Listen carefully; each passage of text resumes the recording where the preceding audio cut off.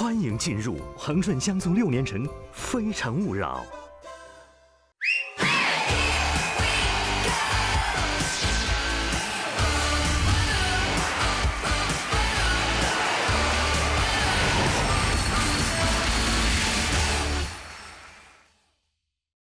欢迎收看江苏卫视恒顺乡村六年城《非诚勿扰》，有请主持人孟非。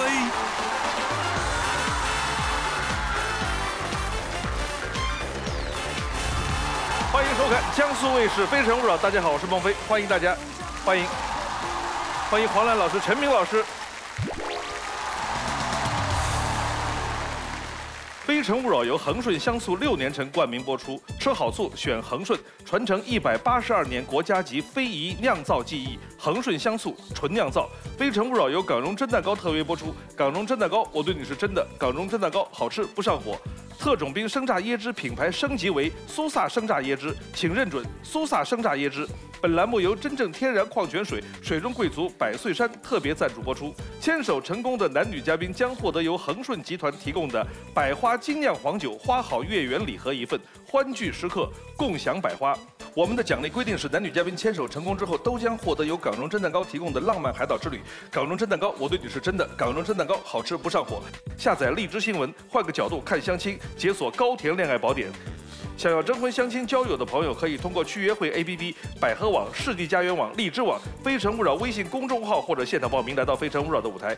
智推女生由百合情感提供测评支持，来百合情感解决你的交友困惑。非诚勿扰腾讯视频全网独播，每周六晚二十一点，会员抢先看。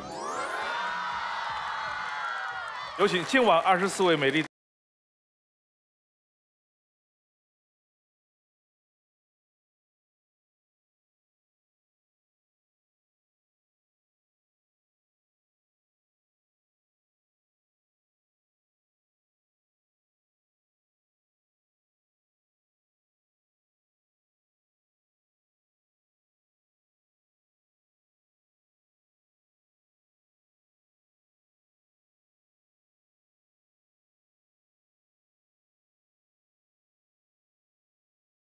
生榨椰汁提供的挚爱好礼一份，二十四位女生欢迎你们，请亮灯。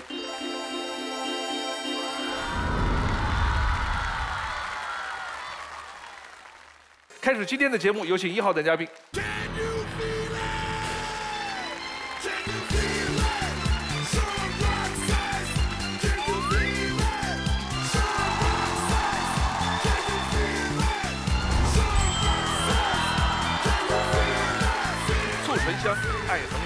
远，吃好醋选恒顺。三位老师好，然后台上的女嘉宾好，各位现场的来宾好，我叫万超强，我今年三十二岁，来自广州。本嘉宾由更懂你的百合网推荐，哎选你的心动女生。男嘉宾在选择心动女生的同时，系统已经为他匹配出了智推女生。当他进入权力反转的时候，我们将公布智推女生参与恋爱选择。港荣蒸蛋糕好吃不上火，爱之请回答。你的第一个问题是，我希望带他去最浪漫的海岛游泳。哪一些热带海岛呢？每一个海岛它都有自己不同的风格，比如说巴厘岛，它是世界冲浪的一个非常棒的地方。我去潜水的话，我去过最漂亮的地方是马来西亚的香美纳的斯巴丹。帕劳的话，它有一个水母湖，它里面的水母是粉红色的，很漂亮。所以说每一个海岛它的特征都不一样。来，女生们喜欢哪些热带海岛？二号。男嘉宾你好，我叫丁雨婷，来自安徽，然后我也是一个有着自己珠宝品牌的美业老板。我的爱好很多，其中有一个就是旅游。他去过好多地方，我都去过。仙本那的海岛，还有巴厘岛，还去过希腊的圣托里尼。然后我其实有一个小愿望，就是希望以后可以跟着我的男朋友一起去旅游，在最美好的时间、最美好的风景里面有有你可以陪伴的那一种，有你可以陪伴的那一种。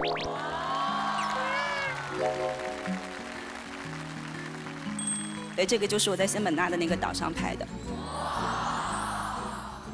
好漂亮。三号，大家好，我叫菊涵，我来自海南三亚。其实我就是一名冲浪教练。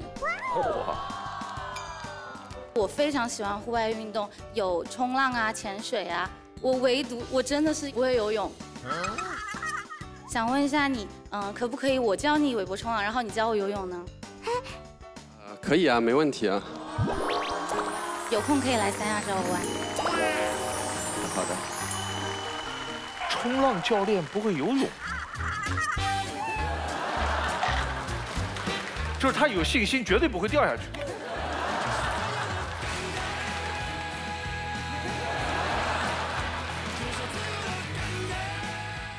你的第二个问题，我不希望他在伤心的时候总是喝酒。你的前女友一不开心就喝酒啊？他开心也喝。所以我说，但凡爱喝酒的，跟开不开心没有关系，他就是爱喝酒。来，我帮你问一下，我最爱问这个。台上爱喝一点的女生举手，我看看。你自己看一看。以前我告诉你，十二年前我问这个问题的时候，台上举手爱喝的两三个而已，还羞羞答答这样举。现在我一问，哗，二十个人都这么举，怎么办？这个问题？呃，因为是这样的哈，如果人在不开心的时候，他的情绪呢会低落化，饮酒会过度，对身体第一个不好，第二个来说，女孩子喝多的话，其实对自己的安全很，就是懂你的意思。二十四号，嗯，男嘉宾你好，你前女友是不开心的时候就喝酒，在我看来呢，她可能是，呃，对于自己心情的一个调节方式。我想知道的是，你在呃恋爱中，你女朋友不开心了，你会做些什么举动调节她的心情，帮助她不去喝酒呢？呃，我会做她喜欢吃的菜，要不然我们就一起去看个电影。嗯、那么多做菜她都不喝两杯啊？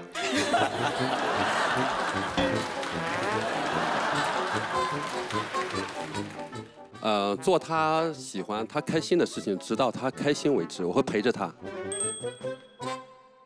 看第一条片子，雪山、湖泊、一缕阳光，梦中遥不可及的山川和古镇，化作触手可及的风景。你好，丽江。我是万超强。二零一五年离开广州，只身来到丽江，选择了民宿行业，踩过坑，淌过雷，七年打拼，从零开始，终于，曾经的行业小白站稳了脚跟，在广州经营服装直播行业，同时拥有四家属于自己的民宿。设计是一家民宿的灵魂，民宿里的一砖一石一瓦都是我的心血，细节就是提升居住幸福感的关键。欢迎来到我的民宿，你们看到这棵树了吗？这是我当时亲手种下的。如果你们也喜欢安静，我会推荐你们来我的小木屋。走，带你们去看一下。在小木屋，你可以一觉睡到自然醒，没有电视，也没有投影仪，在这里，你可以找到一个属于你自己的私人空间。当然，如果你想临近真正的大自然，那就来我的星空帐篷营地吧。玉龙雪山脚下，听听鸟鸣，闻闻花香，这就是真正的生活吧。我还准备了一份惊喜给大家，在这里你们还可以喂一喂我们可爱的小鹿。来，小鹿们开饭喽！来来来，哎，不要抢，不要抢。哎，来来来，看到这个望远镜了吗？丽江的星空很美，打开窗就是漫天的星辰。不过，如果你是我的女朋友，我还有一条属于你的专属服务。我热爱厨艺，喜欢菜场的人间烟火气，买菜做饭是我觉得最幸福的时刻。如果你来，我会做自己最拿手的猪肚包鸡，让你大饱口福。丽江今日多云，天气晴好，我在这里等你。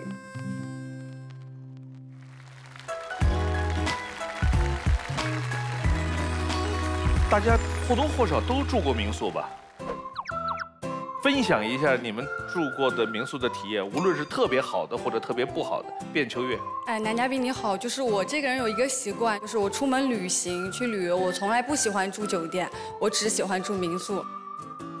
我到这个城市去旅游，我去住他们那边的民宿，我也是可以感受到当地的一个风土人情，以及这个人对于他民宿的这样的一个诠释。而且呢，我有一个梦想，就是我三十多岁了，可以跟我未来的老公，那我们在丽江开一个民宿，那我们每天在里面做做饭啊，和我们的客人一起去分享美食，然后可能再喝一点小酒，这个呢就是我最理想的这样的一个状态。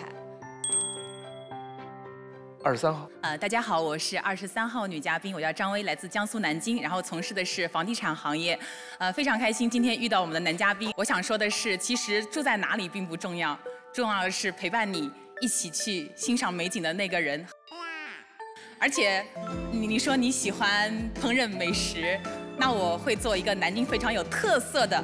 南京小龙虾，有机会的话，我希望能够亲手做给心爱的人吃，一定要尝一尝我们的南京特色小龙虾哦。呃，可以可以，你们南京的小龙虾还是好吃的。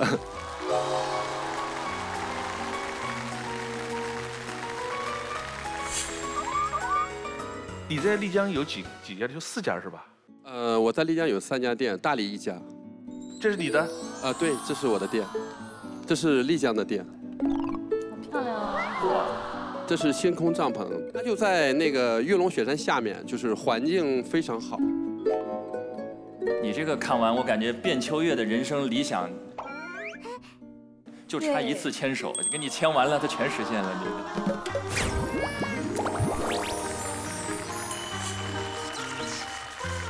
这个是不是有季节的要求啊？它冬天会比较冷一点。然后，其实我比较推荐是春天或者秋天去，因为夏季是雨季。哦，这个就是秋天，初秋的时候就很漂亮，好美啊。对，然后晚上的话，这个是之前我的客人在这里拍的，用相机拍的，好浪漫。三号。你好，男嘉宾。刚刚看到就是您经营的民宿可以去喂小鹿，那我想问一下，如果客人自己带着宠物，是不是也可以入住你的民宿呢？我们民宿是可以带宠物的。那如果我的宠物有一点大呢？你是骑马去的吗？不是，我我的宠物是一只羊驼。有多大呢？羊驼，你比划一下，一岁四个月，差不多跟我一样，对，一米二，比我低，比我矮一点。你一米三。哇，好大只！它对我们住一起，然后它可以在我房间里，也可以在阳台，所以能不能以后就是带羊驼去你的民宿呢，男嘉宾？呃，可以啊，没问题啊，因为我那个在丽江也有养马，啊。你们有多少人有过念头换一个城市生活？如果没有那么多现实障碍的话，五号。我比较喜欢去厦门，因为去厦门旅游的话，一下就爱上了那座城市。然后我也想分享一下，就是我当时回来为厦门写的一段话。如果再去厦门的话，我想去黄厝看日出，再去沙坡尾喝下午茶，然后沿着芙蓉隧道穿过美丽的厦大。嗯，当我提着行李箱要离开厦门的时候，抬起头，我才发现，嗯，美丽的环岛公路是厦门给我最后的礼物。然后，如果下次去厦门的话，嗯，记得去南普陀寺还愿，希望所有的朋友都可以，嗯，一直平安喜乐。所以我当时就是特别用心的记录了这一座城市。一看就是一个人去的吧？十五号。Hello，大家好，我是十五号女生杨小晴，今年二十七岁，是一个餐饮店老板。我也是土生土长的广州人。然后呢，如果是给我选择的话，我就会选择在广州，因为广州就是生活很惬意，所以我就喜欢待在广州。第是第一次来还是第二次来呢？我第一次来啊。哦，难怪，他要是第二次来，我就觉得奇怪，这样的口音都没有引起我的注意吗？我们刚才讨论的问题是，你想不想生活在别处？他的答案是不去。就此地很好，哪里都不去。二十一号。啊，男嘉宾你好，就是刚刚看你的那个 VCR 里面看到很多就是你那个做菜的图片，就是没想到你这个做菜这么好。然后我是就是自己做菜的时候是喜欢在最后一步淋上锅边醋，嗯，而且特别是用我们的这个恒顺香醋六年陈，它不仅可以增香提味，而且有益健康。然后我想问一下男嘉宾做菜的时候有没有什么小技巧呢？呃，做菜呀，我觉得做菜怎么说是一种天赋吧，我我个人觉得。哇，这是男嘉宾做的吗？对。这这这真的是一种天赋，这个。我个人觉得是一种天赋。各种风味都有，还有白灼的虾，还偏粤菜系。我我是山东人，我是做鲁菜比较拿手。山东人。对，我是鲁菜比较拿手，然后做粤菜跟川菜也还可以。你做这样的菜还要求女朋友不喝酒，真是太难为人了。就是他本来不喝酒，看到这么多菜，要不我试试喝一点。好，来看下一条片子。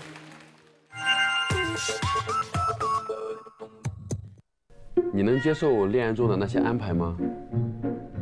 我交往过一个有点霸道的女生。陪我出去玩呗。不行，我一会儿还有事儿呢。我不管，我都定好了。只要她需要，我必须无条件的陪她玩。一次旅途中，他把计划拉满，下了飞机去酒吧，行程结束又去酒吧，又去酒吧，深更半夜还要去酒吧。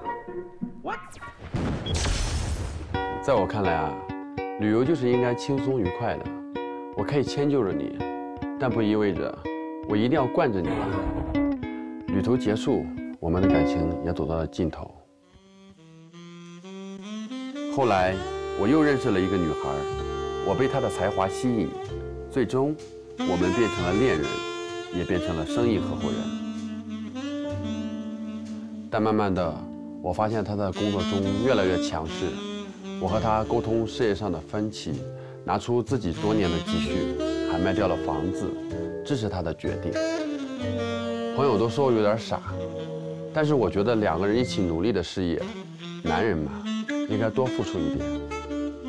后来我发现，她是一个疑心病很重的女生，对于我身边的异性总是很敏感，甚至要提出和我交换微信。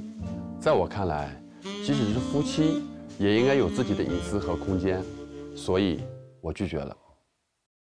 但她常常使用激将法对我说：“你不给我密码，是不是心里有鬼？”情感上的束缚，经营理念的不合，我们渐行渐远。我提出了分手。在未来的感情中，希望我们能够彼此信任，足够的信任才能让关系更加长久。相爱的人陪伴在身边就是幸福的。玉龙雪山很美，我在这里，你会来吗？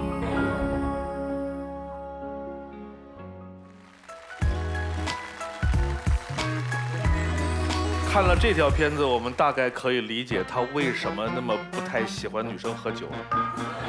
他喝到什么程度呢？他是天天顿顿都要喝呢，还是一次会喝很多？嗯，我觉得他经常会喝酒，一个礼拜七天的话，他得喝个四五天，而且他酒量不好，他一喝酒就会把自己喝醉，然后就很醉很醉的那种状态。这个确实不太合适。十四号，Hello，大家好，我是十四号女生，然后我叫何小莹，也是来自广州的。然后呢，我现在是从事人事职员。然后我是想问一下男嘉宾哈，你是更加介意女朋友喝酒没有量，而不是介意她喝酒吧？呃，差不多。其实跟朋友聚会喝酒是一件比较开心的事情，但是呢，一定要懂得这个量。你不能说你喝一斤白酒的量，你你去喝一斤半，那那就断片了嘛。这个事儿啊，不光是对女生，对男人也一样。爱喝点酒的人很多，都要控制在自己不要失态的那个那个度里边，是吧？十一号。男嘉宾你好，就是我看你的 VCR 里面，就是你的女朋友疑心病很重，但是我觉得她疑心病重是因为她太喜欢你了，是你做了什么事情，就是让他很没有安全感吗？所以他会这样子。啊，其实也并不是，因为怎么说，有的时候呢，他就会问你在跟谁干嘛，其实我我都会给他看的，但是呢，呃，我给你主动看就没有问题，如果说。你偷偷的看或者你干嘛的，这个是属于盗窃别人的隐私，我不喜欢。但是如果我主动给你看的话，这个就没有什么。王文文，啊，男嘉宾你好，我叫王文文，然后来自于江苏徐州。呃，我我特别能理解男嘉宾的感受，因为我之前谈的每一段感情，他们就是莫名的疑心病也很重。就拿我前任来说吧，我跟他交往两年期间，他把我手机翻了底朝天，但是我连他手机的锁屏密码都不知道，然后甚至可能说会把我手机就是四五年前所有的购物记录都会翻出来并打印出来，然后其实也没有做什么，就是也给够他们安全感，干什么也会跟他们说，但是就是莫名的多疑，有的时候就可能真的是不合适吧。呃，其实我觉得哈，就是两个人在一块儿哈，这个信任度是相互培养的。我觉得你已经做到很极致了，但是这个可能是他的原因吧，我个人觉得。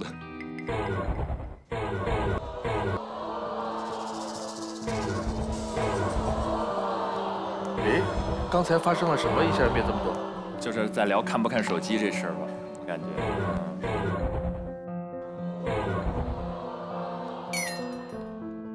这个看不看对方手机，无非就三种情况：一种是一定要看，一种是不要看，一种是可看可不看。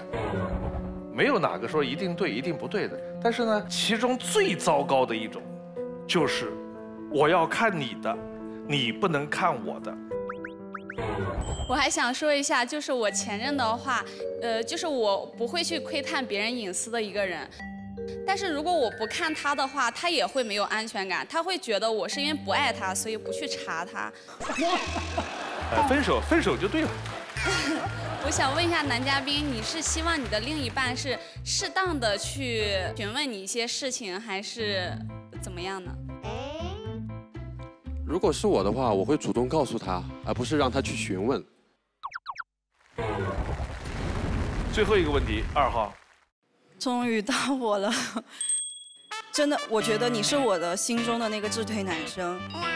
你的两段 VCR 让我感觉你是一个很浪漫、很有仪式感，然后虽然有点大男子主义，但是是一个细腻的人。我想告诉你，我也是这样的人。就是在前两段，我觉得你的前女友，或者是你认为他们可能会有点霸道或者强势，你还会再建议就是跟这样子的人相处吗？因为我也是那样的人。但是我会给你足够的空间，我会非常尊重别人的隐私，因为我也不喜欢别人看我的手机。呃，我能接受，因为两个人在一起相互理解嘛。男生我觉得，呃，他肯定是会照顾女生的情绪多一些，所以说这些东西对我来讲，呃，其实都不算什么。呃，我还有一个就是。其实你第一个出场出来的时候，我是有点激动的。然后看到你两段 VCR 之后，我是心动的。我想问你，对我有心动吗？如果没有，我就灭灯，我很难受。这这种话是不是叫霸道和强势的提问？我我建议你不这么问。因为还有另外两个女生刘能，她的这个回答你会让她非常为难。啊，我收回来，我可爱一点。第一眼看到你很激动，现在了解完很心动。我希望你对我可以保持心动。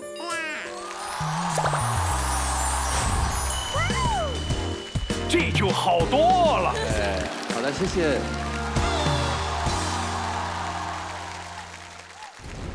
现在留灯的是二号、三号、二十三号，来上去灭掉，一盏灯回来。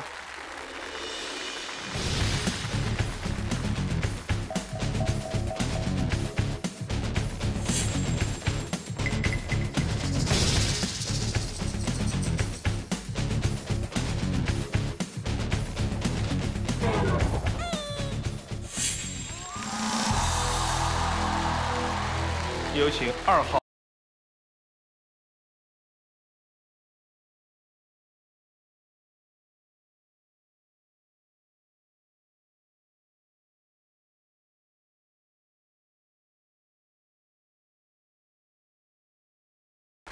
来看男嘉宾的心动女生是哪一位？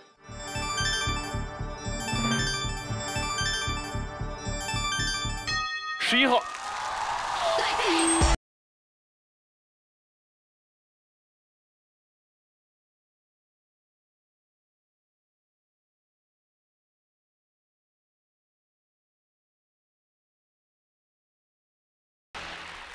智推女生是万超强的智推女生是吃好醋选恒顺，恒顺香醋六年陈为您揭晓智推女生。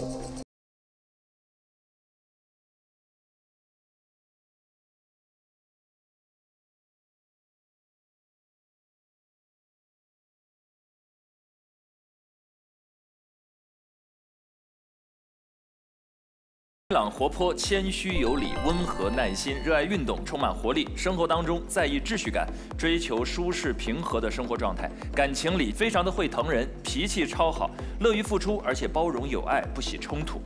女生知书达理、端庄大方、温暖有爱，有好胜心，感情当中非常在意彼此的精神连接，理性而且慢热，乐于付出，在意仪式感。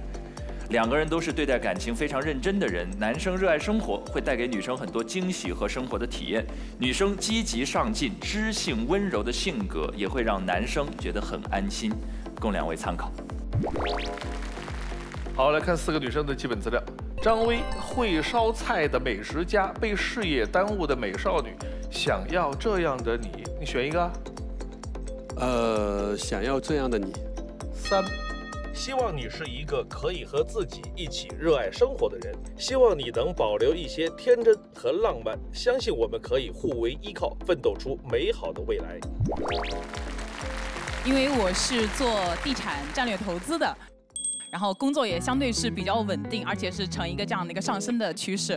我觉得两个人如果在婚姻生活在一起的话，一定是能够共同承担生活，我们一定是互为彼此这样的一个依靠。我觉得一个家庭当中，不仅仅男人是女人的依靠，其实我也可以是你一个坚强的后盾。如果你觉得在外面压力很大的话，放心，还有我呢。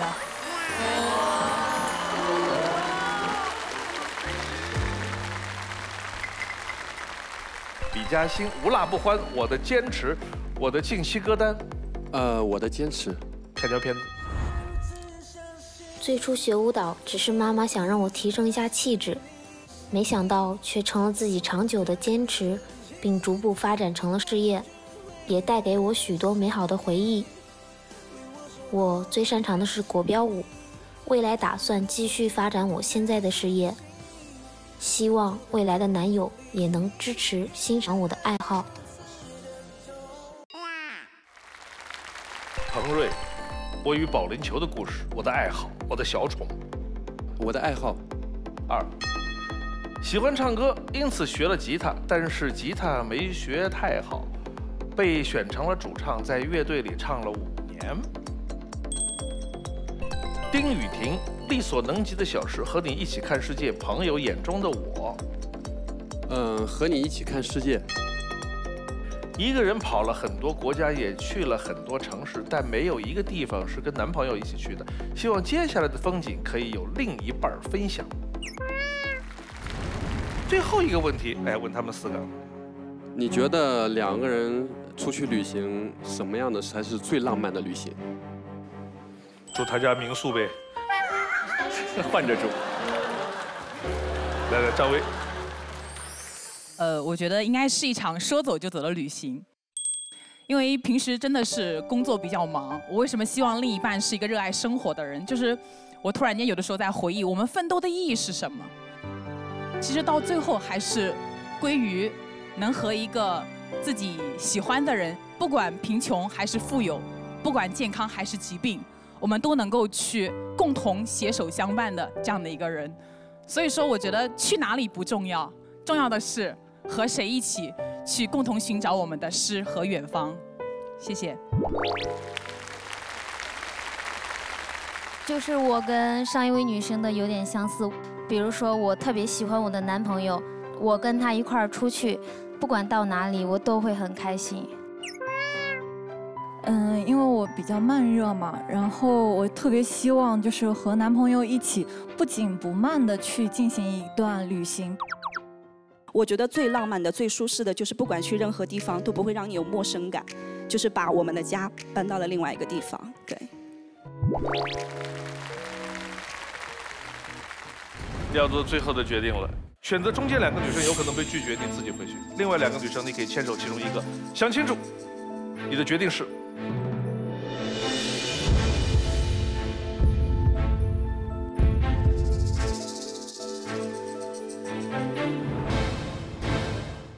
恒顺香酥六年陈《非诚勿扰》，马上回来。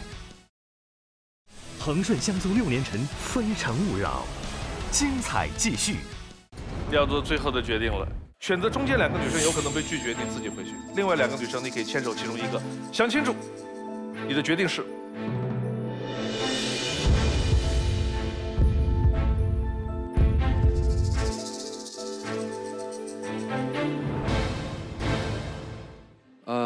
我选择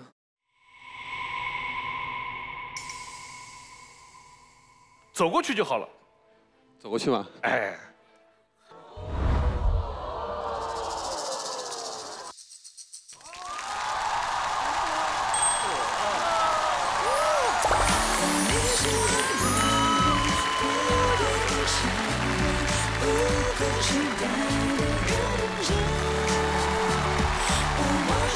嘉宾获得了由港荣真蛋糕提供的浪漫海岛之港荣真蛋糕，我们女生的港荣真蛋糕好吃不上。再见。花好月圆，天长地久，幸福时刻就喝恒顺百花花好月圆酒。恭喜男女嘉宾获得由恒顺集团提供的恒顺百花酒花好月圆系列礼盒一份。其实我在呃之前说这个问题的时候，其实我已已经有过答案。两个人在一起旅行，在哪里不重要，最重要的就是能跟心爱的人一起去旅行。刚好是他恰恰第一时间说出了这个观点，我觉得，呃，这就是我想要的那个答案。其实我今天是第一次来咱们的《非诚勿扰》，没有想到我还没有来得及看下一个男嘉宾，然后就被他带走了。所以说，就是有的时候真的是演员吧。当他从电梯里面出来的那一刹那，我就觉得，哦，我的天哪，一定就是他。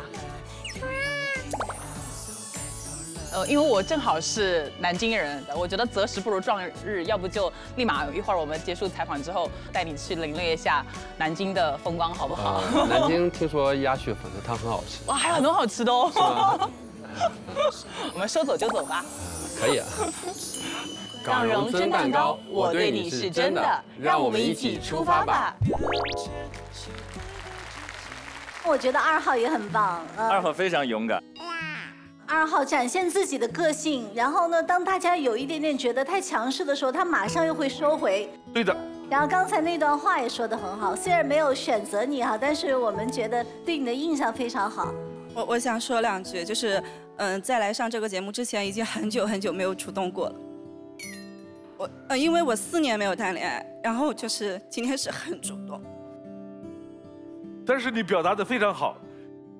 因为就是工作上，其实我是蛮要强的一个人，但是其实我的内心也是很小女人的，对，但是还是很替他们开心，嗯，挺好的。保持这个状态，很好。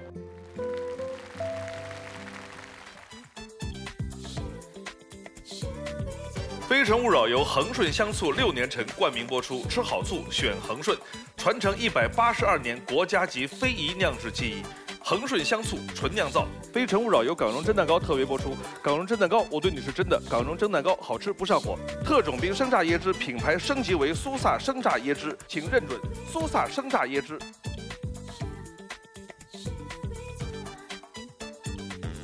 好，有请下一位男嘉宾。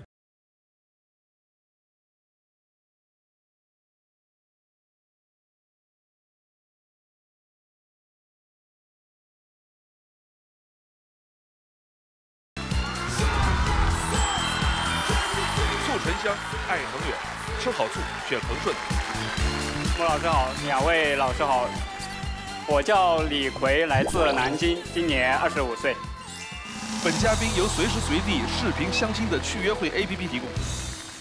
前面那个叫超强，这个叫李逵，都是猛人。哎，他那他那样子好像柯南，我觉得。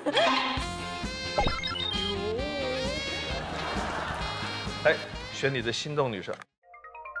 男嘉宾在选择心动女生的同时，系统已经为他匹配出了智推女生。当他进入权力反转的时候，我们将公布智推女生参与恋爱选择。港荣蒸蛋糕好吃不上火，爱之请回答。你的第一个问题是，我希望我们在一起吃饭的时候不要太辣。哎你不能吃辣。其实我是四川人，但是我感觉我来了南京之后，我被这个南京人同化了。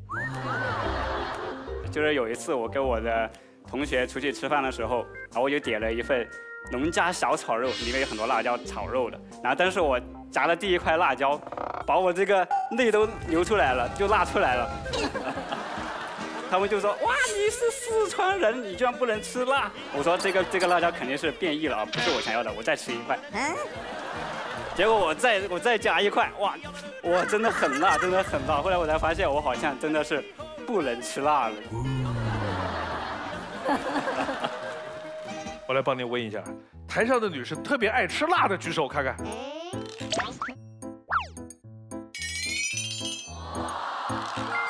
走吧走吧，都都能吃辣。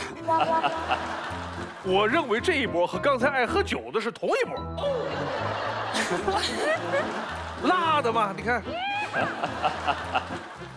这口怎么办？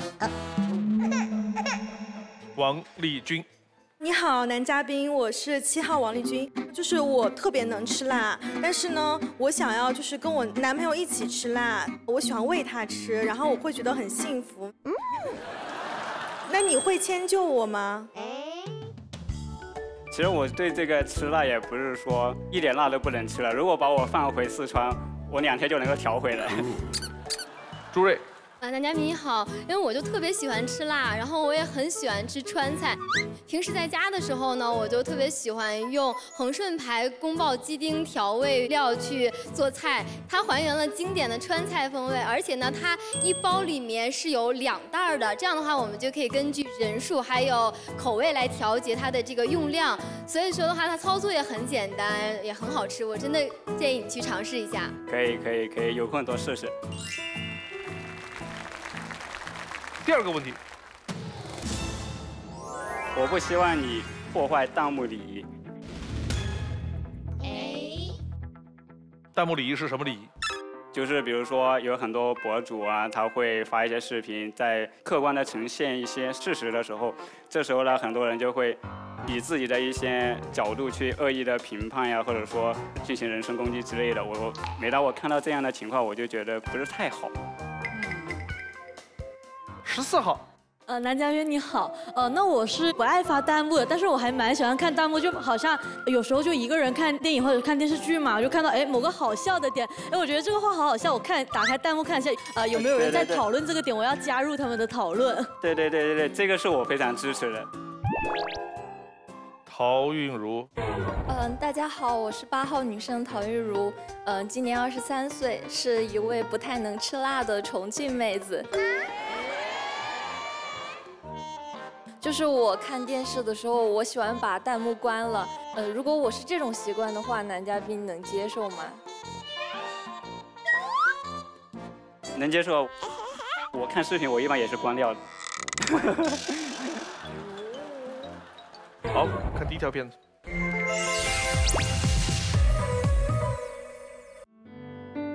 大家好，我叫李逵，我从小就喜欢小动物，养过的流浪猫狗已经有十几只了。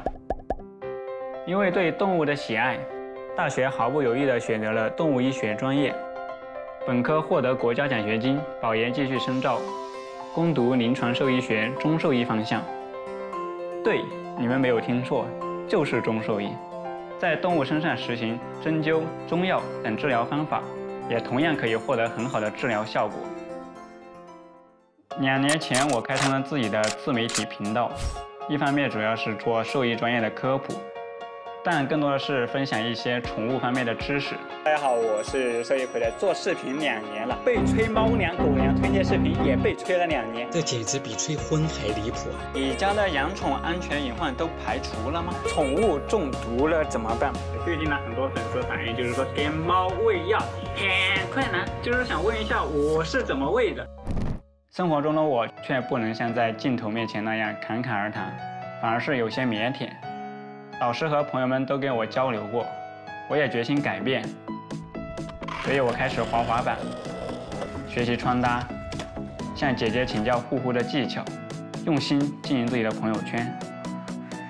去年还参与了第一届世界青年兽医圆桌论坛，与世界各地的青年兽医探讨如何把互联网与兽医结合起来。未来我计划开一家自己的互联网动物医院。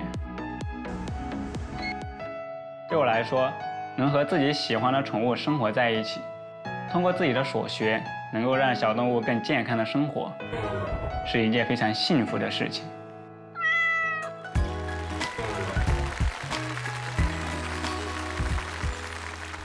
我也是增加了知识，今天才知道，猫猫狗狗看病也分中医西医。是的，哎，这个。您这一行是打哪儿开始起源的？是一直就有呢，还是这些年新兴的一个？其实从远古时代就有，从《黄帝内经》那个时候开始就就有了。对，那个时候的中医不仅跟人医病，动物，比如说牛，它生病的时候，它也会给它弄一些中药啊或者针灸啊给它治疗。所以说，其实在很久之前就有了，只是说大家没有在意这些。十号。大家好，我叫范浩然，今年二十二岁，来自郑州。嗯，我爱好运动，其中最喜欢的也最擅长的是高尔夫和羽毛球。然后呢，男嘉宾的名字让我有特别亲切的感觉，因为他叫李逵嘛，我的名字也比较雷人。浩然。嗯。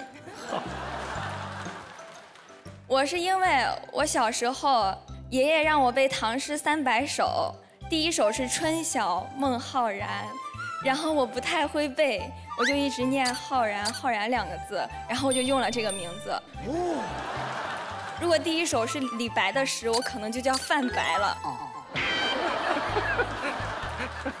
所以我对男嘉宾特别有亲切感。我还有一个问题想问男嘉宾，我看他的视频里有说他会用心的去经营他的朋友圈，是什么意思？就是说，我现在觉得这个朋友圈它是一个展现自己的一个很好的形象的一个地方。嗯。比如说你这个人本来就很负能量，人天天就发一些什么啊鸡汤之类的，就会让人看的比较不是那么友好。如果你每天也发一些积极乐观的东西的话，那别人看了也会比较开心。哪种属于比较积极乐观的？元气满满的一天开始了，加油！我是最棒的。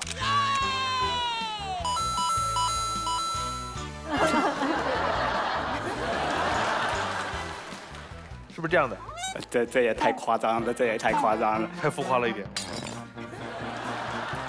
对，就分享你的，比如说美美的照片呀。做饭呀，运动啊，看书呀，就可以了，我觉得。嗯，好的。二十二号。哎，三位老师您好，男嘉宾你好，我叫赵爽，是来自东北的这个姑娘哈，现在定居在南京。哦，我从事的是这个园艺工作，然后也是自己创业型的。嗯。呃，我就是想请教一下男嘉宾啊，因为我不养宠物，原因就是因为它们掉毛掉的厉害。我想问，这个有办法解决吗？反正掉毛的问题是很难解决的。但是其实很多人就会在上面，比如说铺一个挂单呃床单，然后或者说你买一个就是吸毛的机器，定期给它吸。谢谢谢谢。十八号。男嘉宾好，我有一只很可爱的猫，但它不太理我，除了它饿的时候。对于这种情况，有没有什么比较好的方式，可以让它性格稍微开放一点？对对对。我觉得这个就是你首先得先读懂一些你这个猫的一些肢体语言，或者说一些声音语言。比如说它翘尾巴的时候啊。啊，向你走过来，确实是尾巴有一点微微弯曲的时候啊，是比较想让你抚摸，或者如果它是弓背的话，然后又非常的撕裂的那种声音，它就是比较抵抗你的啊。对它吃想要吃东西的时候，它是第二张的一个状态，但它不吃的时候也没有第一张那样子，它只是不太想理我，自己睡觉。它这个情况可能就是跟这个猫这个本身的它的性格是有关系的，所以这个猫它本身就是比较一个高冷的形象，你知道吗？啊。那你怎么办？你也不理他。十五号。啊，你好，男嘉宾，因为我这次来，我把我的狗狗放到我邻居家寄养嘛，嗯，然后嘞，他就。拿那个染发膏把我的狗染成一只老虎一样，它一条纹一条纹的，那个身上，然后那个头，它是柯基嘛，黄色的，然后现在变黑色了，说这黑色大老虎，我生气死了。那那个朋友，你跟他绝交了吗？那邻居怎么绝交呢？因为我每次。就是出门旅行啥的，我都得放他家呢。哦。然后我想问，这个呃染发膏对我狗有没有伤害嘞？这个也不好说，主要是看你这个染发膏主要是一些什么化学成分了。十号。嗯，男嘉宾你好，嗯，我是一个有动物恐惧症的人，就是所有动物我都害怕。那你会强迫我，比如说我不喜欢猫，你说你看这猫多可爱，你摸摸它，就是我不喜欢你，非要强迫我。这这这这不会的，这不会。如果你刚开始怕的话，我会选择就不养，不不把它带回家。不养。对，然后我也会带你去，比如说经常去宠物医院看一看。或者带你去那个宠物店看一看，多接触接触，让你感受这种氛围。下一条。我认为谈恋爱本身也是学习恋爱的过程。大一的时候，在一个英语补习班，我遇见了一个让我有好感的女生，我想多了解她一些，所以就会去问她一些家庭的情况。但是这让她觉得我很物质，所以拒绝了我。其实我真的只是想多再了解她一下，可能为什么会觉得我很物质呢？我真的很搞不明白。后来，我开始了一段火热而又有遗憾的初恋。我们相处时会经常互看对方的手机，通过这种方式，我们更加的了解了对方的交友圈，同时也是建立信任的过程。可能是我们共同的兴趣太少，一起约会的次数也越来越少。最后，我提出了分手。我最近一次恋爱是在去年，他是一名隔壁专业的同行，我们有着共同的兴趣爱好，也了解了彼此的情感经历和未来规划。一个学期的线上聊天，我们确定了恋爱关系。假期去他的城市找他。我们约在了一个博物馆见面。我觉得第一次约会去咖啡馆就挺好的，可是为什么他会选择去博物馆？后来逛着逛着，两个人就分开了，他提前离开。由我一个人逛完了剩下的展。和他分手之后，我也去请教过我的朋友，也去找了一些恋爱书籍来看，想好好学习一下如何跟女生聊天，如何谈恋爱。有收获，当然也有疑惑。三位老师可以教教我吗？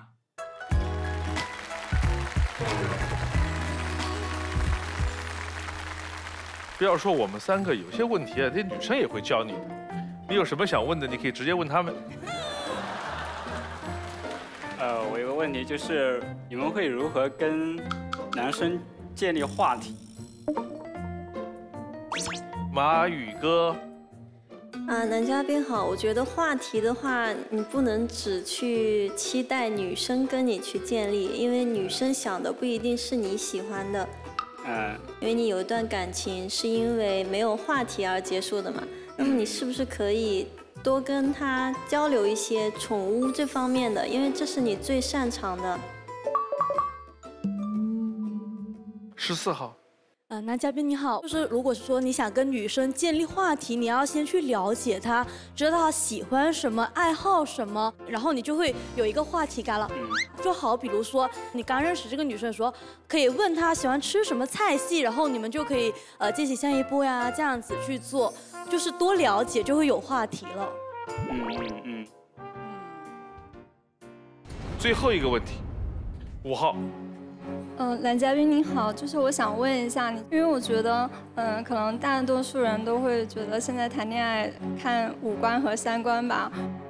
你想更加了解你的前女友，为什么不去更多的了解一下她的一些想法呢？为什么要就是先去了解她的家庭呢？嗯，刚开始是这样的，这件事情是发生在五六年前，可能那个时候我不太会，就是说跟他聊天。所以说我就想找一些话题嘛，然后就没想到戳到了这个令人痛心的这个点儿上，所以说他会就会觉得我比较物质之类的。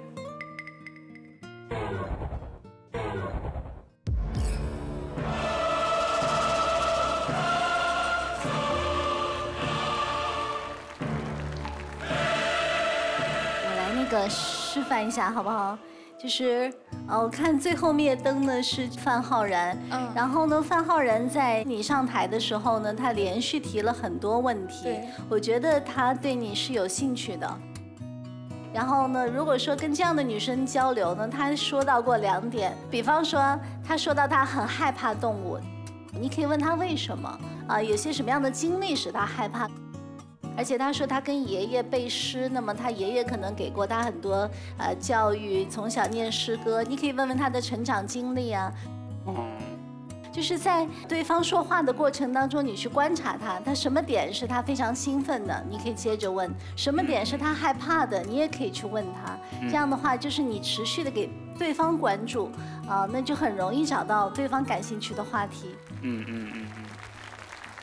然后还有个小细节是。经常可以多问自己为什么要，而不用问自己为什么不。我有注意到短片当中有一个细节，有一位女生约你第一次约会的地方是在博物馆，然后你当时的第一反应是哦，为什么是在博物馆而不是在咖啡店呢？嗯，你的你的下意识的想法是为什么不？为什么不？这种思维方式是以我为主导的。啊，那你要把你说的主语换成他，你要问他为什么要在博物馆？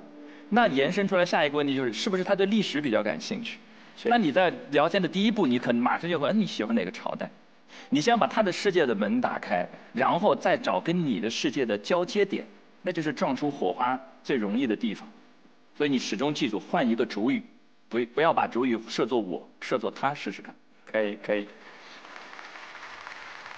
两位老师说的都很有道理，观察并且注意到对方感兴趣的点。把话题往对方感兴趣的往下进行，嗯嗯，好吧，好，再见。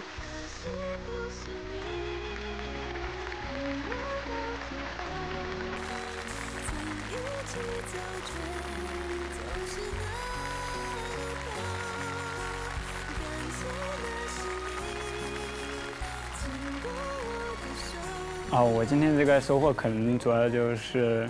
刚刚像那两位老师说了，以后呢会多站在女方的角度去思考一些他们为什么会提出这个问题，以及他们是怎么想的，而不是以我为主导，然后去想一些问题。我优点是我比较喜欢挑战，然后呢，感觉我还是比较负责任的。我决定如果做一件事情的话，我会比较努力的把它去完成。我叫李逵，如果有喜欢我这种类型的，请联系我。范浩然，你觉得他身上哪个点你是喜欢的？就是他的名字一开始很亲切，嗯，然后又加上我喜欢戴眼镜，比较绅士、斯文一点。但是我问他问题，他就是一直在讲自己的小猫小狗，又是我害怕的东西，就哦，太遗憾了。《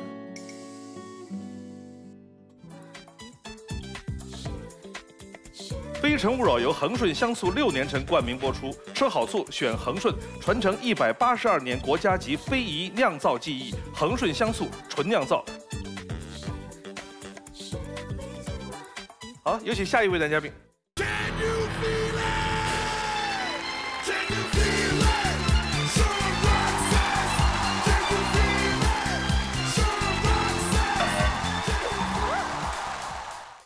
港荣蒸蛋糕好吃不上火，提醒您马上回来。港荣蒸蛋糕好吃不上火，提醒您精彩继续。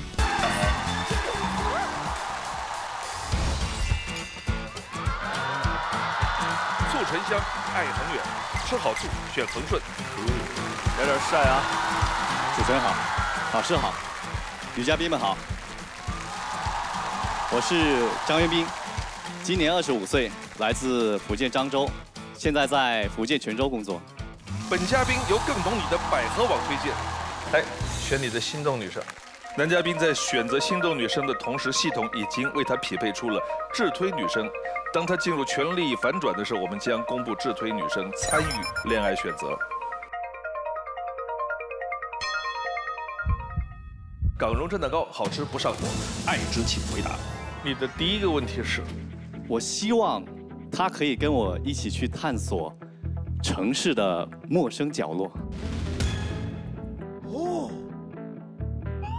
十四号，Hello，男嘉宾你好，我是比较喜欢就是在自己的城市里面找一些老城区啊，一些小旧楼啊，就特别喜欢阳光洒在它上面的时候，就金灿灿的，我觉得好好看，然后就特别的舒服舒心。我也是这样子的。我特别喜欢那种感觉，然后泉州就是这种很多老房子，到处能感觉感觉到那种老城的气息。对，我也喜欢阳光，喜欢猫。泉州还是个值得去的地方，是我国第五十六个世界文化遗产。因为这个城市在宋元时代是世界海上贸易的中心，它有几个非常值得去的地方。我。我一说，你们有可能就会有兴趣。它有个开元寺，唐代的一个塔。开元寺，那个女生说：“我去看什么唐代的塔，对女孩来说没有吸引力。”但是我要跟你说，它那个地方离泉州不远，有一个崇武的古城的海边，是中国最美的海岸线，你们可以去看看。你们有没有听说过惠安女？一个非常奇特的一个民俗，就在崇武古城那边，戴一个斗笠，上身的衣服很小很紧的那种上身衣服，下面的衣裙那个裤子非常肥大。这不是我们今天男嘉宾的服装风格吗？他是惠安男。所以你去了解一下，泉州有好多地方组成了世界文化遗产。它包括还有一个叫叫清源清源山吗？啊，是。那个地方有中国现存最大也是历史最久远的一个老子的雕像，就这个，哇，写了一排字叫“老子天下第一”。二十三号，男嘉宾你好，各位老师好，我是二十三号女生李翠怡，目前在三亚从事展会项目的工作。然后呢，我有一个特别，就是算小的癖好吧。我喜欢站到城市的最高点去探索，就是不知道男嘉宾会不会恐高呢？完全不恐高，就是我特别喜欢这种刺激的感觉。以前没有接触过那种过山车的时候，然后我很怕。但是当我第一次玩过山车的时候，我连着去了三次。哦，唰唰唰唰唰唰唰唰唰唰唰唰唰唰，就是很享受那种感觉，就会上瘾。然后我现在特别喜欢那种蹦极，我就发现我站上去的时候，我就觉得我的视野都开阔了，那种感觉我觉得挺棒。啊，那刚好我也特别喜欢玩刺激的游戏。啊，是吗？是的。你说的城市最高点，它有两种可能，一种是山，一种是建筑。啊，站到城市就是比如说一些特别高的高楼大厦，在楼顶上面往下看。十五号，广州最高的地方叫什么？小蛮腰啊，但是，呃，男嘉宾，我也是特别喜欢一些刺激的运动的。刺激，哦，刺激。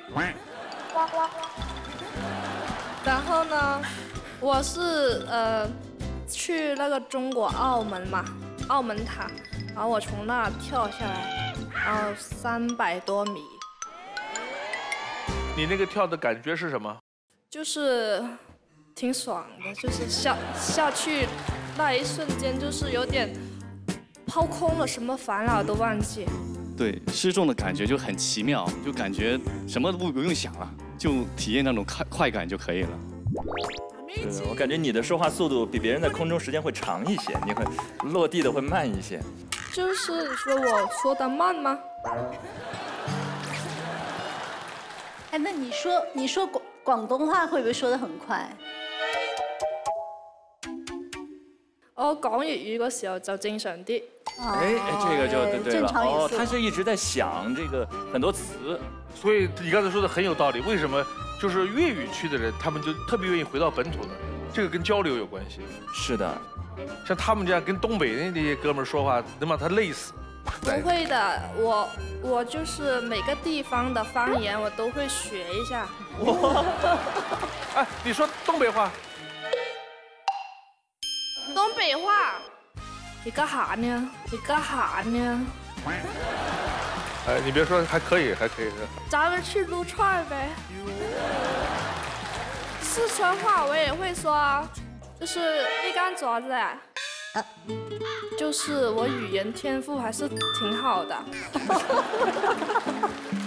是吗？显而易见。好，第二个问题。我不希望你在吃到好吃的时候忘记我。二十四号。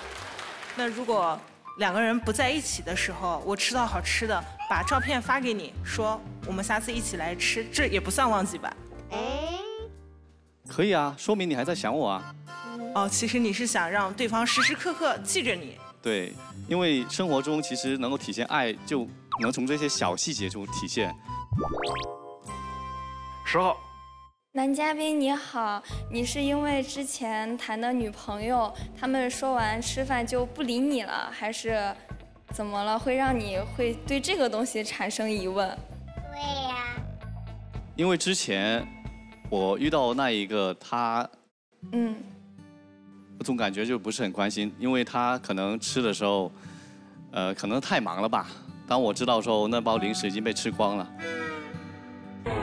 我听到过很多分手的原因，我也听到很多人希望被关心，这是非常正常的想法。但是说到吃美食把他忘了，为什么听上去有点好笑呢？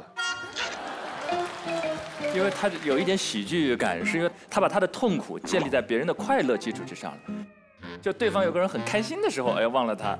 他反而很痛苦，但这个痛苦底色又很快乐。然后我一听呢，两个人是为了抢东西吃分手的。这个很像小朋友。我女儿如果有个很好吃的冰棍儿，我说让我咬一口，我咬大了她就会哭。那我想问你，你小时候是不是很多人给你抢吃的？哦，那倒没有，就是小时候家里还是挺疼我的。然后我有四个姐姐。哦，你看看。四个姐姐肯定都让着他，突然来了一个女的跟他抢吃的，换我也受不了。跟他谈恋爱，千万注意，不要抢吃的。你们有没有跟前男友抢过东西吃？三号，你好，男嘉宾。嗯，我觉得，我觉得，嗯，不好意思，我有点紧张，因为我觉得你好帅啊。谢谢。然后呢，我觉得美食呢，跟心爱的人一起吃，肯定会加倍的美味。然后，其实我本身也是很爱吃东西的，尤其你长得这么帅，我肯定要跟你吃饭，我要多吃几碗饭。但是，刚刚你已经说了，你就你跟你前任的那个分享嘛，所以我会把好吃的都让给你，然后请你多关注下我，谢谢。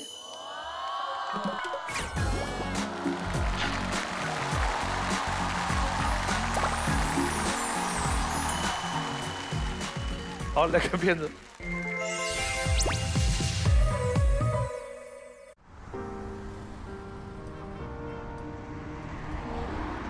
工作、交友、恋爱，但事实上，你的生活更多的是一个人逛街，一个人吃饭，一个人住。我叫张元斌，曾是一个孤独的旅行者，一个人看直播，一个人做直播。我知道享受孤独是成长的必修课，但我厌倦了这样的日子，所以搬进了朋友推荐的盒子社区。在这里，孤独穿上了紧身衣。这个盒子就是我的家，一张温暖的床，下面是储物空间，右边是我的办公桌。我通过做服务管理工作，抵消了我的房租。也在这里结交了一群可爱的朋友。他是五 G 基站设计师，把自己的房子卖了，搬到了这里，经常教我打游戏。他教的非常认真，攻略理念一套一套的，真的超级认真。他是米其林大厨。经常给我们做一些从未见过的美味料理，每天不同的菜系，川菜、粤菜、闽菜，我已经吃胖了好几斤了。不是拿大米还有他们，我们一起开办画展，一起开周末的电影派对，一起见证别人的幸福。累了就回到自己的小盒子，与世隔绝，在群居的生活和私人世界中自由切换。每天都充斥着未知和快乐。我希望给身边的人带来快乐，会跟小朋友比谁扮得更像卡通大拿，会随时和家人一起舞狮逗乐，会抄起手边的道具和朋友们放肆玩乐。我觉得开心是一天，不开心也是一天，那就让我们开开心心的过好每一天吧。三号，呃，男嘉宾你好，你现在就是感觉生活在这种群居生活下很开心很热闹。那假设说有一天你谈恋爱了，那你会选择和你的女朋友、另一半共同的就生活在这个氛围里面，还是说你们俩会选择就是脱离出来，成立一个小的环境、小家庭呢？这个问题我也想过，但是盒子社区它的目的其实不是为了让所有人变成这种生活模式。而是给有需要人多一种选择。那当然，如果你更喜欢就是两个人在一起的传统一点生活，我也是很愿意去参考你的意见的。然后，因为感情是两个人的事情，爱情也是，都是在一次次的沟通交流中达成了共识。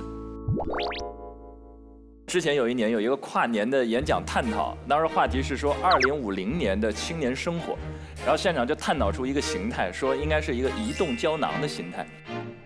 然后在每一个城市会有一些基础建设。我当时听到盒子的时候，我就在想，比我们想的可能要来得更早。这个盒子就是一个胶囊的雏形了，只不过它现在不能移动，它是一个固定的一块一块。你想象一下，如果你的盒子是那种集装箱式的，然后你可以把你的盒子直接便携式的运到另一个地方，而开始另一个生活，变成了一种每一个城市住三个月的短居。但同时，你所有的行李都在你的盒子里，上车搬过去落地。而且它全国范围内能这样流动起来，这就跟我们当时畅想的未来已经非常接就近。今天我还在泉州，明天我可能到了广州。没错，因为广州也有这样的基地。一打开以后，哇，这是广州。而对于很多网店店主啊、互联网的这种自媒体拍摄的博主啊、写手啊，他完全不受工作地的约束，所以到另一个城市他会活得非常好。而且这样，他大概十年的时间会把大半个中国是居住式的体验一遍。那这个这种情这种生活非常值得期待了。哎，他的这个生活场景很有意思，哎有没有女生有过类似的生活体验的？三号，Hello，又是我，就是因为我看你特别喜欢他，我才问你的。好吧，但是我还是很紧张。是这样子的，就是男嘉宾，您的那个呃 VCR 之前呢是说你之前都是一个人旅行，我也是，然后我一个人打卡了十几个国家。现在呢，我也想嗯跟你一样有那种群居生活，所以我就呃报了一个义工旅行，你可以去那个地方旅行，但同时呢你做公益，在那里我也认识了很多很多有趣的人，所以我觉得我跟你挺有话，就挺有共同话题。啊，这个义工我当时也报名了，然后我也挺挺想去的。他比如说说去西藏啊，然后那些新疆啊，然后做义工嘛。虽然后面没有选上我，但是我还是特别喜欢那种生活的。那我想问一下，如果下一次我邀请你跟我一起去义工旅行的话，你会选择哪一个城市呢？国内的话，国内，哦，我现在想挺想去去一次西藏的，或者就是北边一点的，呃，内蒙古也行。我也是。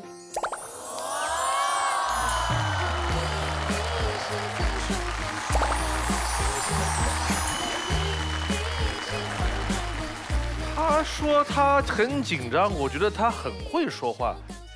大家注意到细节没有？如果我下次邀请你，我们一起去做义工旅行，去哪个城市？不太会说的是，我下次如果邀请你去，你愿意吗？他连愿意都不用问，就默认为你同意了。我们只是商量去哪里。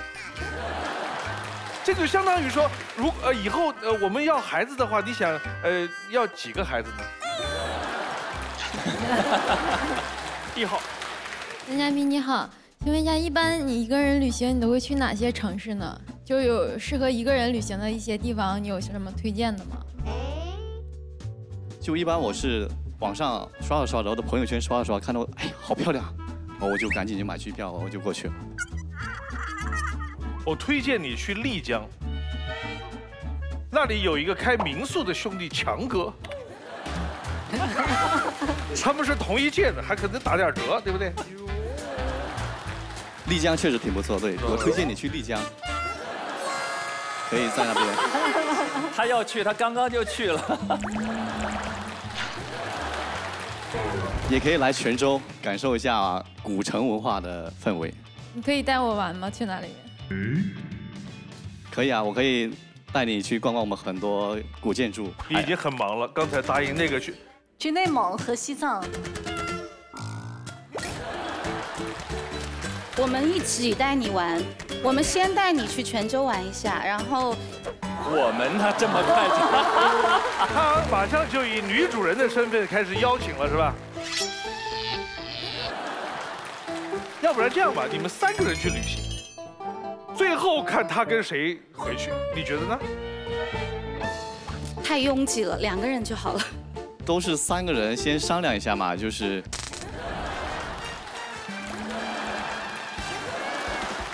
再商量商量。我先问一下，还有没有人想加入这个团队的？现在名额有限啊。哎，王文文，你你想加入一下这个团吗？旅行团？呃，人多热闹，四个人还能一起打牌。哎，不会三缺一。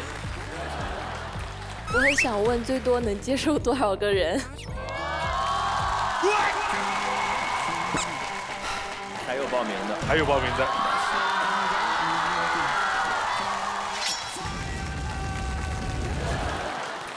那我觉得十几个应该是没问题。他刚才问一共，我想说一共二十四个，我以为他会说那就二十四个都去呗。他要说二十四个都去，我说介不介意再带三个去服务的？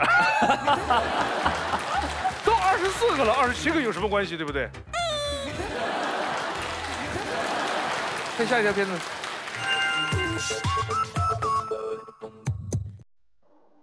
没有好好回应对你好的人，他就会离开。牛奶记得喝哦。哦，谢谢。他是我的大学同学，他会陪着我一起去看海。我随口说的每个小心愿，他都会帮我实现。但因为第一次谈恋爱，稍显被动的我，只会用谢谢回应他的好。我把他弄丢了。不过我当时真的不太会谈恋爱，很多事情如果好好回应的话，或许他的感受会好很多。他离开的那一刻，我才醒悟。我决定勇敢挽回。我花一个月的时间计划找他复合，见面说什么话，做什么事，唱什么歌。但真当我们见面，他却拒绝了我的请求。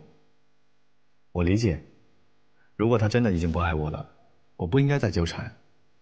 所以我离开他的生活。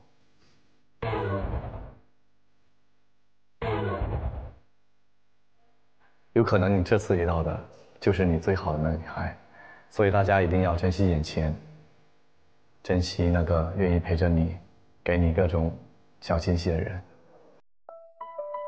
后来遇到另一个女孩时，我对她格外的用心，会提前买好她购物车里的口红，会通宵制定她的旅行攻略，也会在朋友圈分享我们的日常。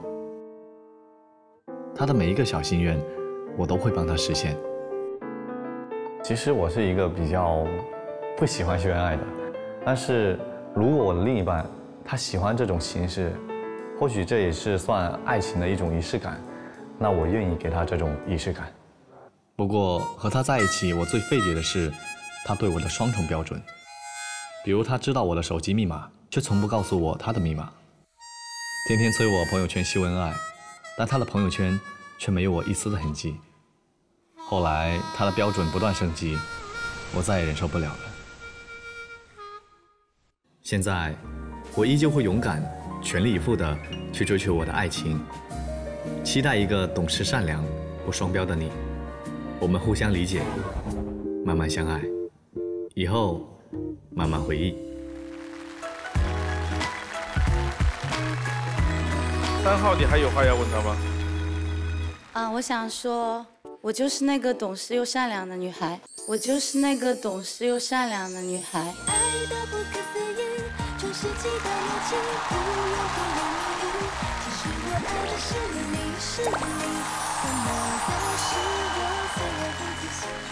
啊，还有就是，呃，我发现男嘉宾你的普通话特别标准。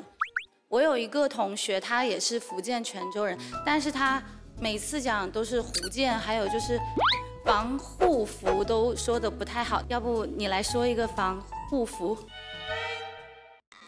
防护服。我还可以再给你加一段。红凤凰，粉凤凰，红粉凤凰，花凤凰。好厉害！哇哦！福康会。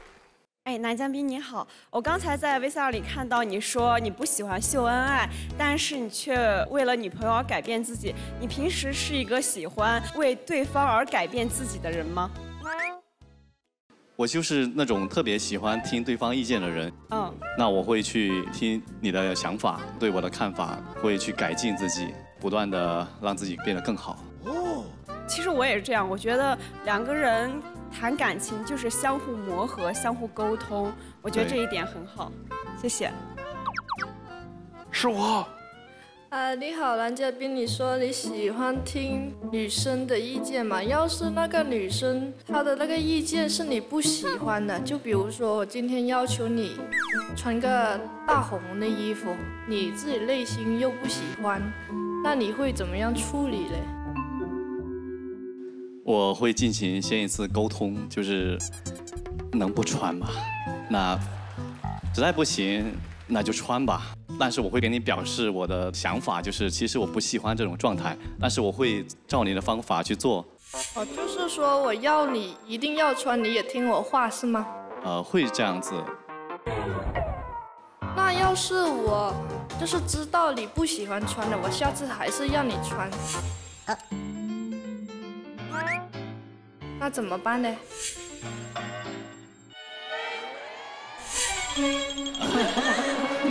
那那我就再次跟你沟通一下。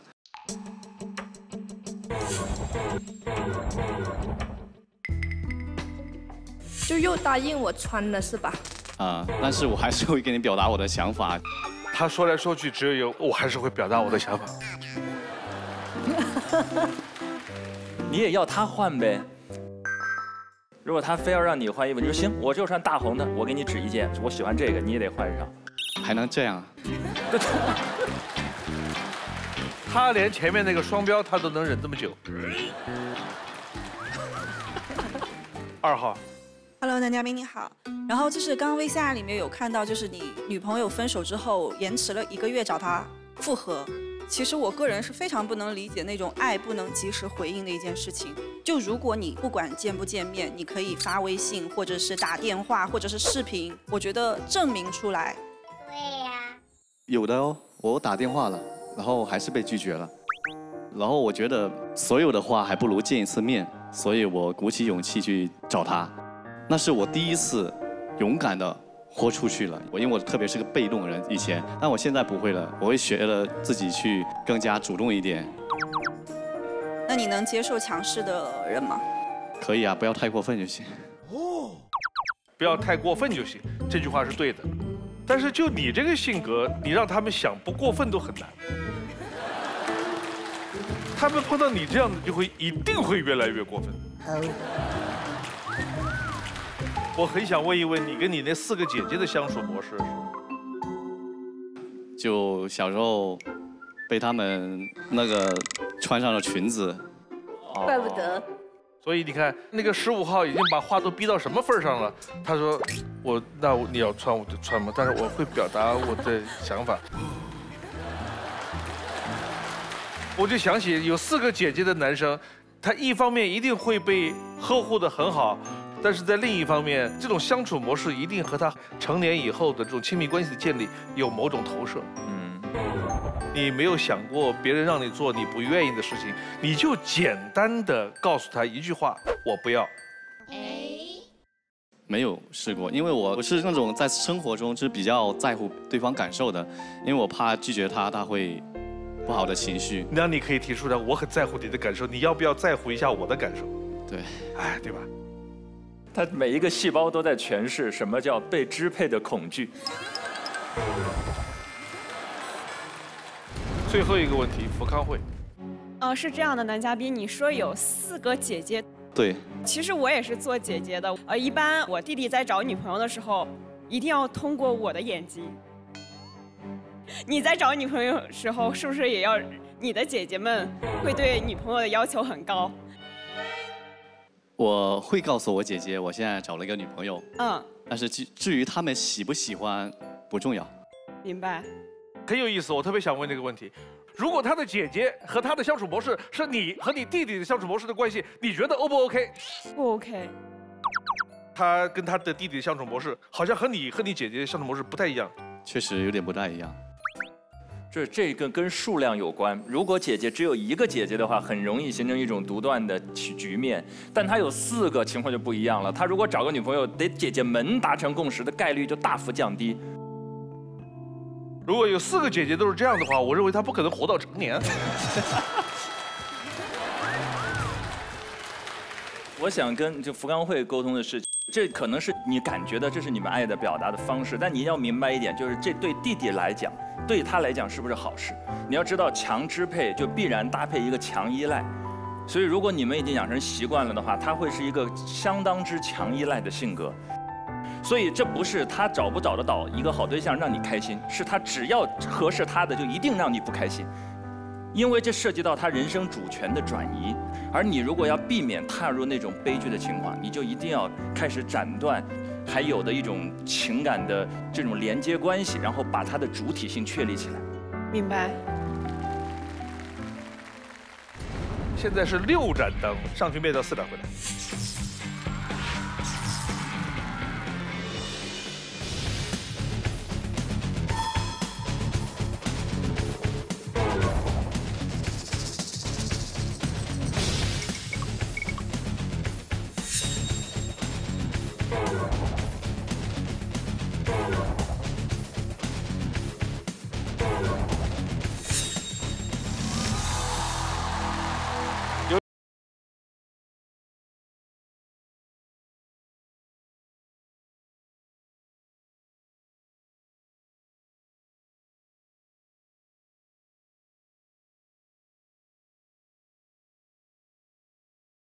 动女生是哪一位？看大屏。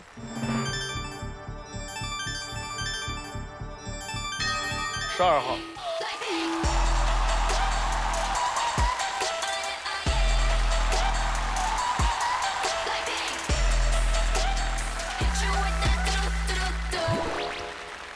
张元斌的智推女生是设好醋，选恒顺，恒顺香醋六年陈，为您揭晓智推女生。十一号李嘉欣。But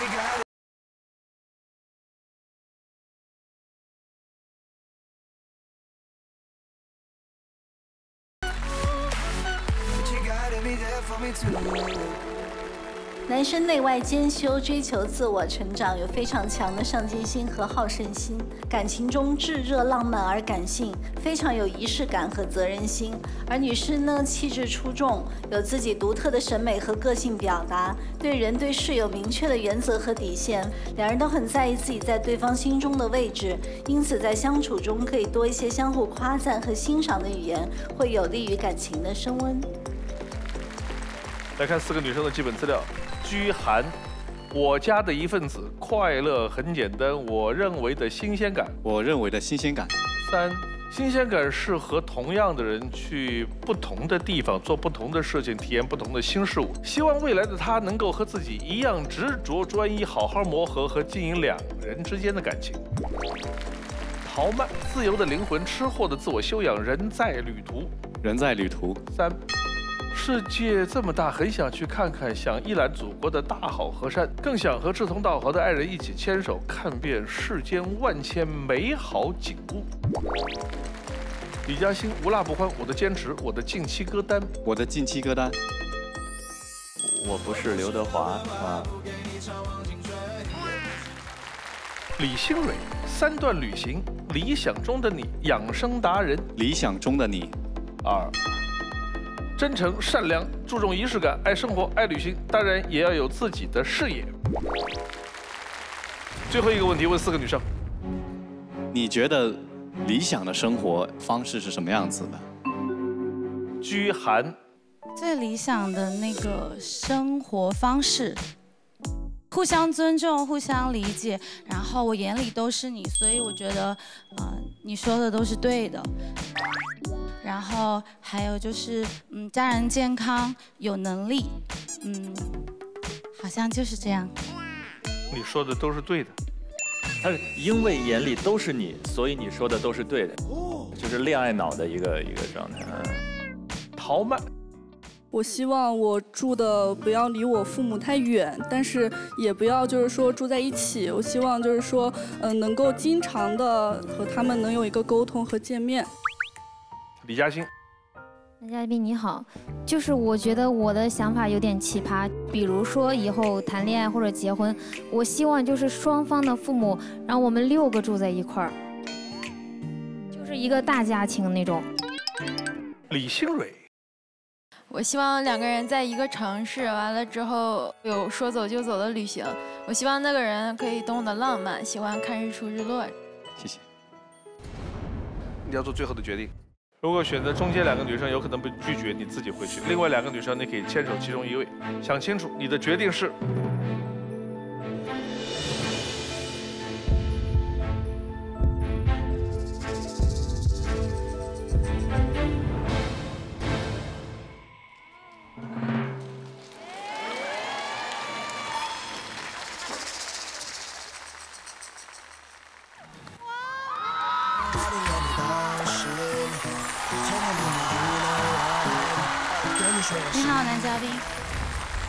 都，有点紧张。我会把好吃的都让给你。期待一个懂事善良的丈夫。我就是那个懂事又善良的女孩。恭喜男女嘉宾获得了由港荣生蛋糕提供的浪漫海岛之旅。港荣生蛋糕，我就是真的。港荣生蛋糕好吃不上火。花好月圆，天长地久。幸福时刻就喝恒顺百花花好月圆酒。恭喜男女嘉宾获得由恒顺集团提供的恒顺百花酒花好月圆系列礼盒一份。我之所以给他留灯，就是第一眼就很喜欢，然后了解到他和我一样很喜欢旅行，我觉得我们志同道合，应该跟他以后生活也会每天都充满阳光吧，所以我就确定了是他。因为喜欢一个人的眼神是藏不住的，所以我觉得爱情是要双向奔赴才有意义。然后他刚才在台上特别的热情，特别的主动，也特别能够打动我。那你有想好我们下一次一共旅行去哪吗？都行啊，只要是跟你在一起，我觉得去哪都可以。那你要做好攻略哦。都交给我吧。掌荣蒸蛋糕，我对你是真的，让我们一起出发吧。这个选择我可以说，几乎百分之九十是三号努力争取的结果。对。所有的女生里，只有三号最直白炽烈的告诉了她自我价值的肯定。从一开始说我就喜欢你长的样子，是到后来说你到哪儿那个城市我也喜欢，甚至一度以女主人自居。男嘉宾，你可以带我玩吗？我们一起带你玩，我们先带你去泉州玩一下。对有的男士来讲，过于直白是一种冒犯，但对他来讲，他非常享受。还有一个小细节是，当时中间有一度说，那这个旅途能不能多几个人？然后他说多几个也可以。等那一瞬间，我马上在看三号的反应，三号迅速有一个翻了一个白眼，哼，就是一个恰到好处的小吃醋，但又没有灭灯，意思就是我还给你留着，但是我很不开心，你怎么会想着跟别人一起去呢？我们俩去不好吗？这个度恰到好处，然后他就一看，马上就笑了，这种小细节也很真实，很真实。所以一号还会去找他们一起玩吗？啊，我就不去了吧。好的，祝他们幸福。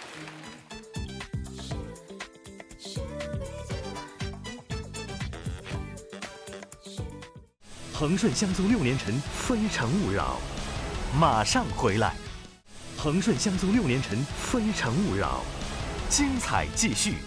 节目最后，感谢恒顺香醋六年陈对本节目的冠名，感谢港荣生蛋糕特别播出，感谢挚爱好礼苏萨生榨椰汁对本节目的大力支持，感谢真正天然矿泉水水中贵族百岁山。想要征婚、相亲、交友的朋友，可以通过去约会 APP、百合网、世纪佳缘网、荔枝网、非诚勿扰微信公众号或者现场报名来到非诚勿扰的舞台看节目。欢迎登录荔枝新闻、大蓝鲸、新浪新闻、一点资讯、Zaker、三六零娱乐了解更多资讯。上微博搜索“非诚勿扰”参与讨论，分享你的恋爱宝典。我们谢谢收看今天的《非诚勿扰》，下期同一时间再见。快乐周末不快乐，只有你陪我，都不想吃饭了。那可不行，心情不好更需要美食犒劳自己。那你帮我挑一个吧，真的是没胃口。麻婆豆腐吧，没胃口的时候吃它准没错。好吧，那就这个吧。哇，麻辣鲜香，色泽红亮，看上去很好吃的样子。吃完嘴巴还有点麻麻的，像是被亲了一口似的。希望那个他快点出现，陪我一起吃麻婆豆腐，两个人吃一定更开心。希望你会喜欢我今天给你准备的声音惊喜。那男嘉宾，你觉得我的声音是你的惊喜吗？蛮 OK 的。我睡前会去听陈明老师的辩论。我妈也很喜欢陈明老师。他们俩要走到一块儿，婆媳关系就解决了。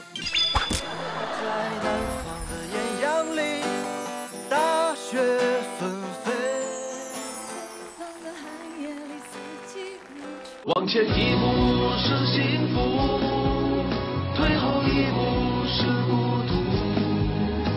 在原总是为了看得更明白，爱情不能不清不出。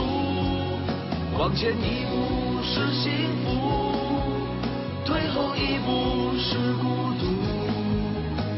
在纷纷扰扰之间，我明亮了双目，就能与我相爱的人一起到老。